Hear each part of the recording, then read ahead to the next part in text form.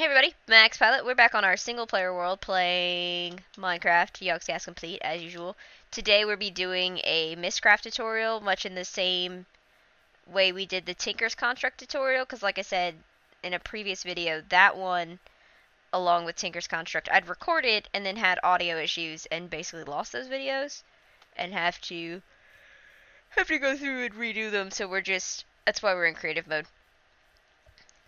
Now these are all the this is all the equipment you're gonna need. And Mystcraft doesn't have a lot of equipment that you need to use for it. It's you do build up a lot of other stuff though as you go, but nothing your starting stuff actually really isn't that hard to obtain.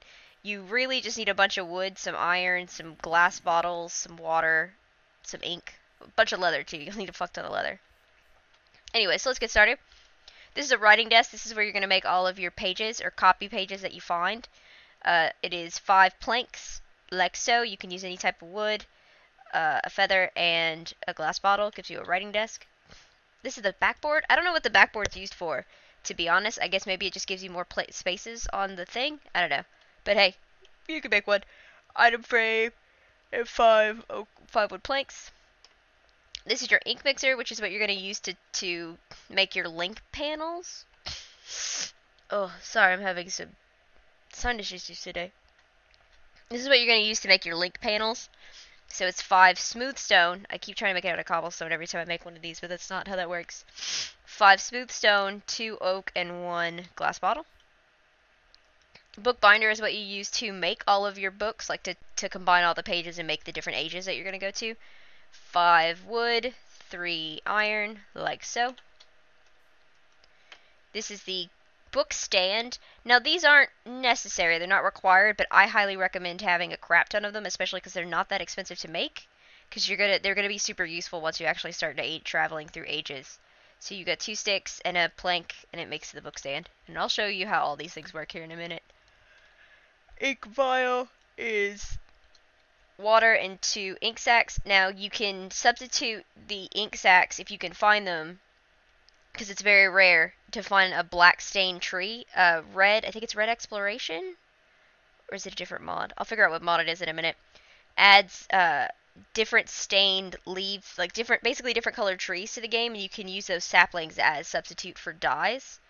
And black is one of those. The black one's really hard to find, but if you can find it, it works amazing as a substitute for ink sacks. because you have to have this particular ink vial for Mystcraft. And then the other thing you'll need, and it's very necessary, is called an unlinked link book, which is a link panel, and I'll show you how to make that a bit in a leather, and that gives you an unlinked link book. So let's go up here to our Mystcraft hovel. As you can see, we've we we did a lot in that last video. We actually ended up going to an age where we found a lot of gold. So we made a chest for each page. Now you can actually, to store all these pages, and these are, we'll get to this in a second as well. To store all the pages, you can make things called notebooks. But I find it's easier to honestly just put them in chests. Because they, the chests hold more stuff, or they're easier to organize. One of the two. These are ages that we've made previously. These are biome pages, block pages, and just random other shit pages. Think this is where we're keeping all of our... Oops. Is it another age? Hmm. This is where we're keeping all of our other things, like all of our basic materials that we need.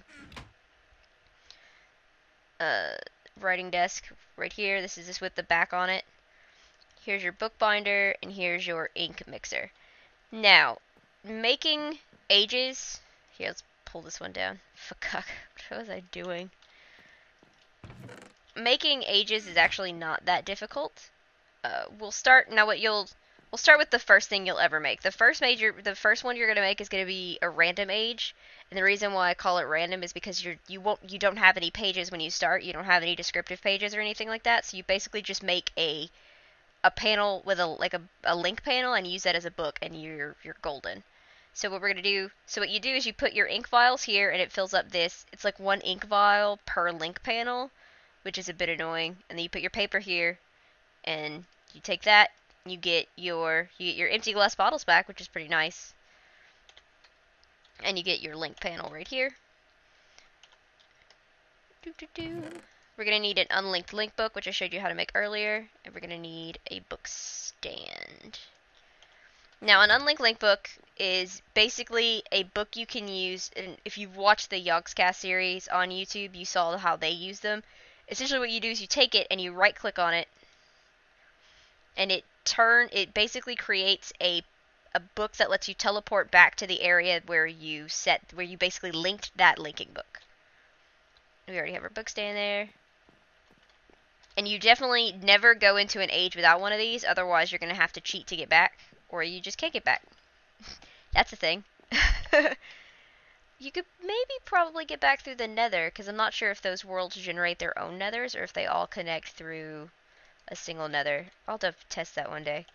Anyways, so to make your first age, you'll you go to your ink mixer and you grab your link panel right here you go to which technically you would need to make two because you'd need to make one for your unlinked link book. I just have a lot of link books, which like we showed was leather and a linking panel. And then you're gonna take you're gonna put this here, leather. You put leather here because that's what binds the books, and then you just you get your book right here, and we're gonna call this uh, tutorial age, because why not? And you pull it out, and blam, you have an age. And you take it uh, you put it on the sand. Another thing you can do, and if if we if we had any crystal, I would show you. You can actually basically make portals for these, and we'll get into that in a bit. There's a lot of things we'll get into in a bit. and to travel to an age, you just open the book and you click. Boop, and this is going to take a second to load. Blah. This is your first age. Well, not this this age specifically is not, but you can see how things could get a little weird with it because uh, it basically just applies a bunch of random properties. I don't even think we have a sun or a moon, and it's raining. Anyway, so the first thing we want to do, and that's why these maps come in handy. Is it this one? I'm trying to figure out, what did I set my waypoint button to? B? Aha! It's apparently it's the divide on the numpad. We're going to call this one home. As you can see, we've set a lot of them. And we're going to put our book stand here with our link book. And so what this basically, this waypoint lets you know exactly where you can go to go home. Ooh, weakness. That's, that's not fun.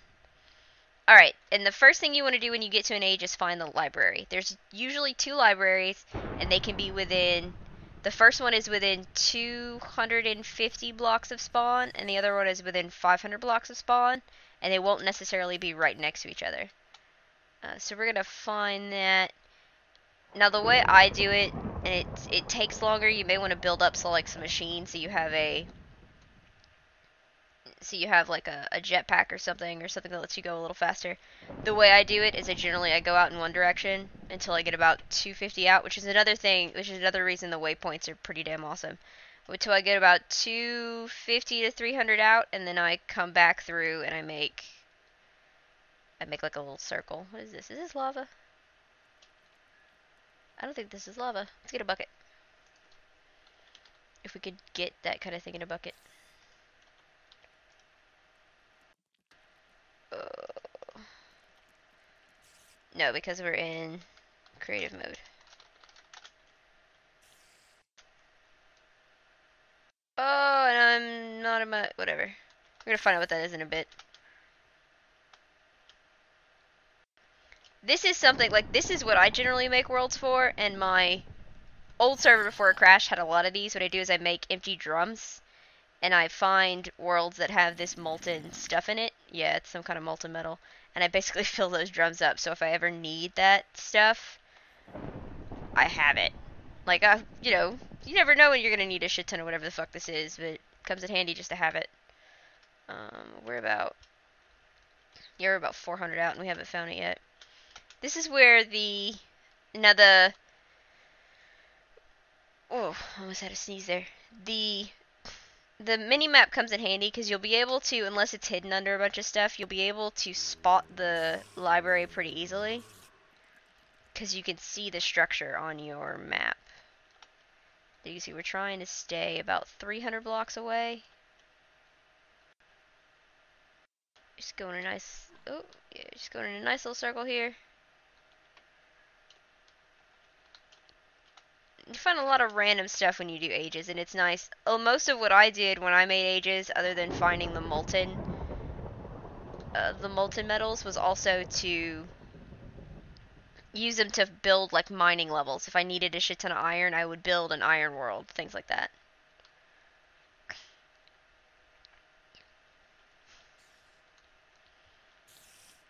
It's hard trying to keep yourself a certain distance away from everything.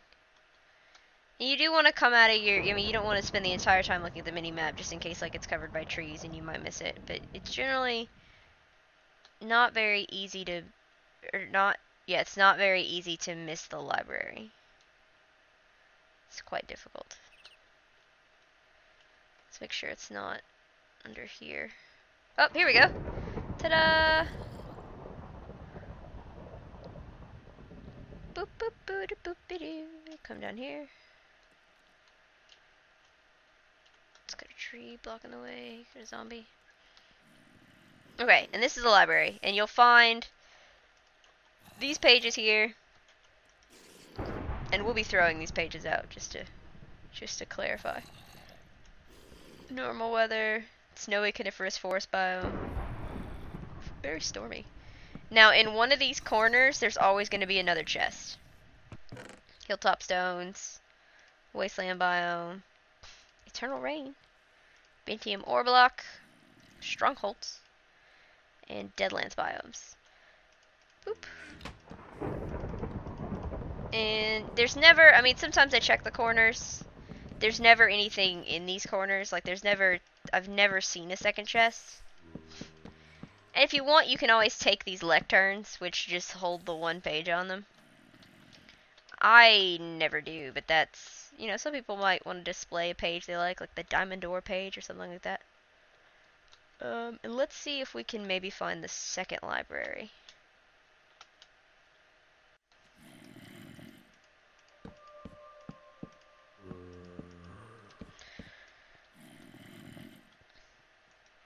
As you can see here, we found the bloody heat biome. Jesus. We found... How did I get to... What the fuck just happened? Weird. Anyways. so we found the second library, which is pretty neat. Uh, now there's nothing... The second library doesn't... use. I don't think it's a... It, it has rarer pages. Like, I don't think going and finding it every time is going to be the is going to be something that you need to do. I know I didn't do it for the longest time because it takes forever, but it's it's recommended if you want to build the most amount of pages, or if you're looking for a specific page, because I mean, if you find more pages, really only increases your chances of finding that page that you want. And then with our pages in hand, we go home. Now you want to be careful, like I said, I'm in creative mode right now, so it's obviously not a problem. But you want to be very careful because some of the ages that you'll make are incredibly dangerous. Like it'll be night all the time uh, sometimes you'll have weakness, things like that. So it could be very dangerous to traverse across different ages, but then they could you could find one that's like bright and sunny and filled with diamonds. So who knows? Now you can also make your own ages. You can make one that's bright and sunny and filled with diamonds. Who knows? And we'll be detailing that probably in a separate episode where we just basically build worlds and see what comes of it. Uh, mostly because hopefully I can show you guys what a decaying world looks like because those are those are interesting.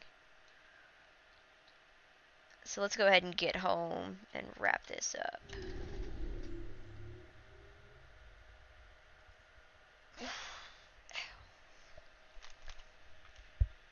And to get home, all we did was go back to the link book that we placed and we clicked on it and blam, we're home. It's that simple. Mystcraft's not really that difficult to get into until you start trying to make like the perfect age. Once you start trying to make different ages, things get a little weirder. But that's something we'll showcase uh, in the next episode. This is basically just the basics. Uh, thanks for watching, guys. Let me know if you have any questions or if I did something wrong in the comments below. I'll re- I'll address that in the next episode. And hopefully you guys enjoyed it. Thanks for watching. Bye.